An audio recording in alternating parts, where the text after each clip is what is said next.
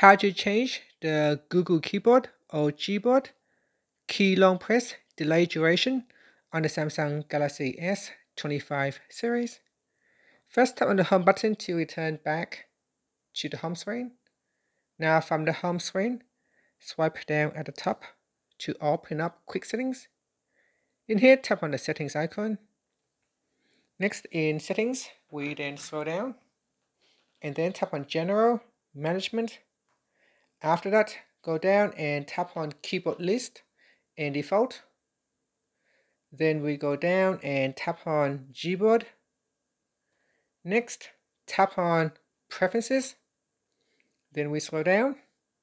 In here, tap on Key Long Press Delay.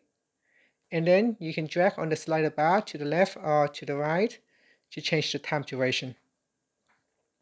Now, if you want to go back to the default, you can tap on the default button.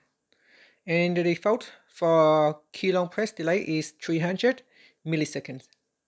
Finally, you can tap on the back key or tap on the home button to return back to the home screen. Thank you for watching this video.